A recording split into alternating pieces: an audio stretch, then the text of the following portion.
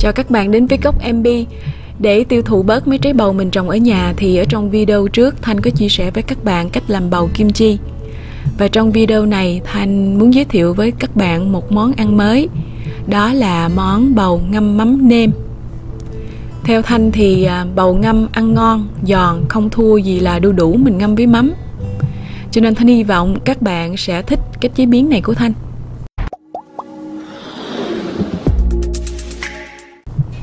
Để làm món này mình cần những trái bầu vừa già tới thôi. Thanh chừa lại trái này, trái này nặng khoảng chừng là 3 pounds. Và Thanh đã rửa trái bầu này sạch sẽ rồi. Mình để vỏ và sắc thành à, khúc dài khoảng chừng à, 1 inch rưỡi cho tới 2 inch.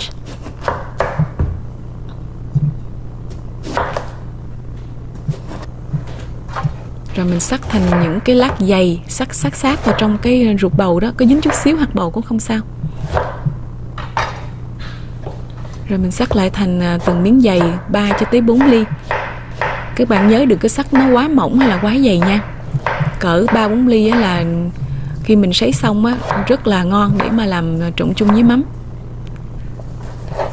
Thì trái bầu này sau khi cắt bỏ cái ruột nó còn lại là hai pound và thanh đem bầu đi sấy nè. Nếu như các bạn không có cái máy sấy thì mình đem bầu à, phơi ở ngoài trời á, phơi nắng một ngày là được và nếu như mình phơi ngoài thì khi đem vô đó mình cần phải à, rửa lại cho sạch sẽ hết bụi bặm rồi vắt khô.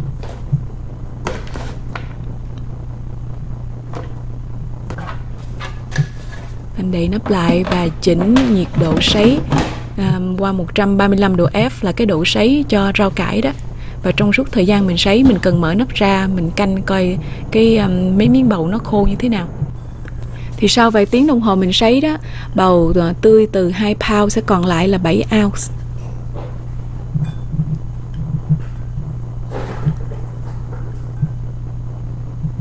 Những miếng bầu mình sắc hơi dày thì sau khi sấy nó sẽ giống dày nè các bạn. Những miếng mà sắc mỏng hơn thì nó sẽ khô héo hơn một tí. Rồi giờ thanh pha nước ngâm bầu thì mình cần là nửa cốc đường. Nửa cốc giấm trắng.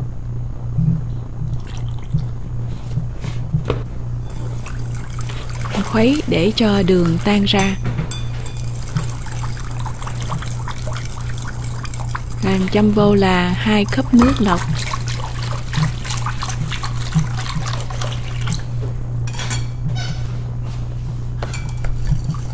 Một muỗng cà phê muối và quậy đều cho đường và muối tan hết. Bây giờ mình cho bầu vô ngâm.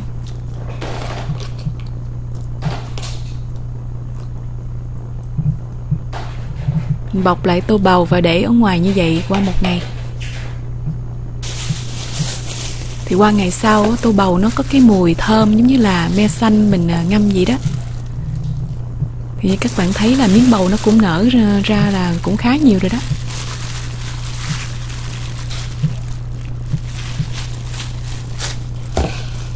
Rồi giờ mình cần vắt cho bầu được à, khô ráo trong rổ là 7 ounce bầu đã được ngâm chua và được vắt khô ráo. Và nguyên liệu mình cần là ớt, một khớp khóm, một phần tư ờ, cộng với một muỗng canh đường 4 cho tới 5 tép tỏi và một cọng sả. Sả mình sẽ rửa sạch hết phấn trắng ở ngoài và bỏ đi cái lớp nào mà cứng quá. Còn mắm thì mình sẽ cần hai loại mắm loại thứ nhất là mình sẽ cần nguyên chai mắm cá cơm ăn liền loại này là còn nguyên con nè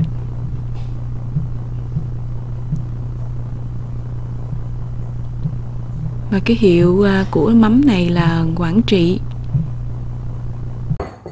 Loại mắm thứ hai mình cần là mắm nêm Phú Quốc, hiệu Bà Giáo Khỏe. Mình sẽ cần là 1 phần 3 cup cộng 2 muỗng canh mắm nêm.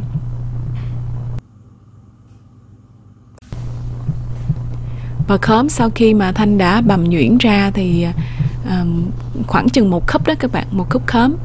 Rồi xả cũng đã được bầm nhuyễn, tỏi, ớt cũng được bầm nhuyễn.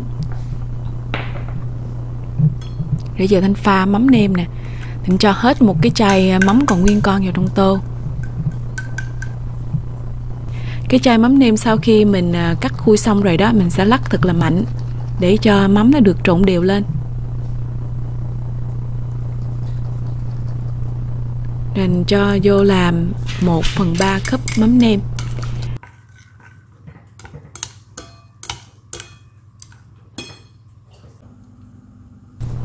Còn khóm thì à, tùy các bạn mua trái khóm nó ngọt hay là chua mà mình có cái à, cái lượng mà nêm nếm đường vào á, nó nhiều hay ít nha. Nên cho vào là một cốc nước. Lúc này các bạn nêm nếm lại nha Để coi cái vị à, à, mắm nêm có đủ độ mặn cho mình chưa? Còn không thì cho vào thêm là hai muỗng canh mắm nêm nữa. Với cái công thức này thì rất là thích hợp để cho mình ăn à, ăn mắm chung với cơm đó các bạn. Còn nếu như ăn bún á, là mình cần phải pha thêm nước khóm. Nước khóm mà có pha loãng với nước đó. Rồi anh cho vô là một phần tư cốc đường một phần tư cốc đường hoặc là một phần tư cốc đường cộng thêm một muỗng canh nữa. Cái độ ngọt tùy thích các bạn và cho thêm một ít à, bột ngọt vào.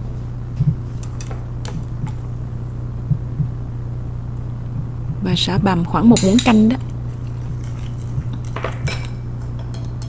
Tại thanh bằm xả chung trên cái thớt mà thanh mới bằm à, ớt á, cho nên xả có cái màu hơi à, đen đen hay nâu nâu làm cho tỏi và ớt bằm vô trong mắm.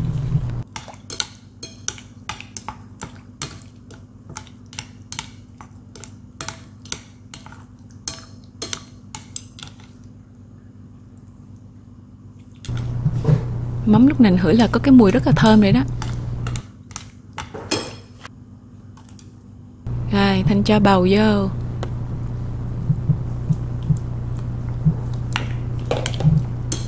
Trộn đều lên các thứ.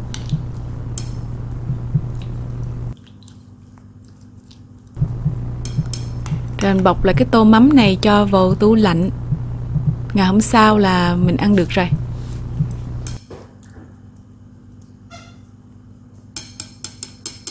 để Thanh chia sẻ với các bạn cách ăn mắm bầu này như thế nào.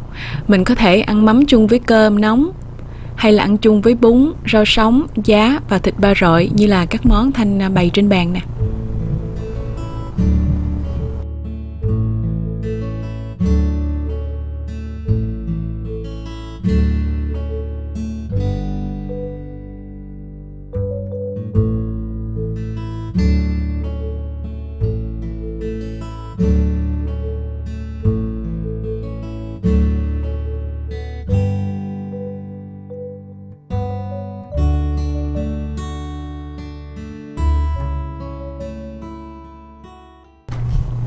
Mắm bầu. Nếu như mình ăn chung với cơm thì mình không cần phải ờ, pha thêm mà chỉ cần vắt vào chanh để cho mắm có cái vị chua chua. Còn nếu như mình ăn chung với bún thì mình ờ, cần phải pha mắm thêm với nước khóm và ít nước, nêm thêm chút đường và vắt vô khá khá nước chanh cho mắm có cái vị chua chua thì ờ, ăn chung với bún rất là ngon. Cái chén khóm này là nước khóm pha với nước và đã được lượt bỏ đi cái xác khóm đó mình cho vào là vài muỗng canh nước khóm.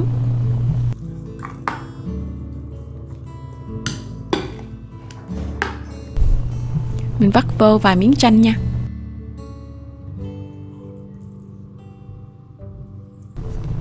Và khi ăn, nếu như các bạn thích thì mình có thể cho vô thêm một ít hành phi nữa.